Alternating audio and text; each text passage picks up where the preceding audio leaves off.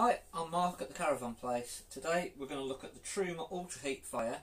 Uh, we've got one here that works on gas and electric and it's got the blown air heating. Um, so we're just going to run through a little bit of the operation of how it works uh, and what you should be doing to make it work.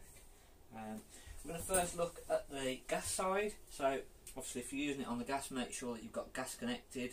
Bleed the gas through the system. We normally bleed the gas through with the hob uh, in the caravan that just gets the gas through the pipes a little bit easier and then we can move on to the fire and they'll light up an awful lot quicker than if you hadn't have done that.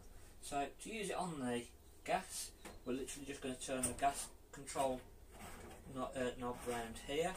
Um, it can be on the right or the left hand side so um, this one is, is on the right but it could be on that left hand side so it will look like this Sometimes they've got a little igniter. Sometimes if you've got just a blanking plate here,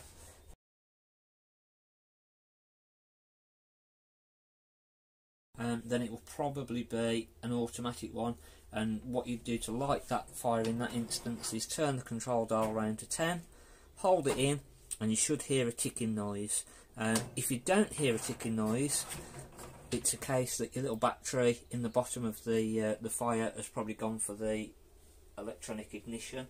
Um, you can sometimes access them underneath of the fire. We'll put a little video or a little photo up.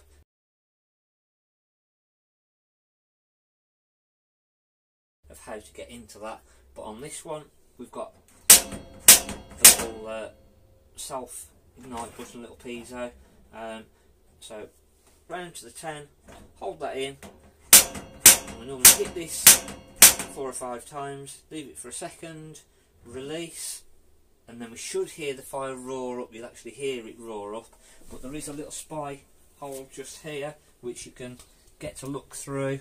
Um, you've got to really get the right angle to, to be able to see it, but you'll see a little blue flame in there. Uh, but normally, on 90% of the newer fires you'll actually hear it roar up and you'll hear it running um, and that's literally how to light it on gas. You've got the control thermostat then so uh, you can then set the temperature to where you want.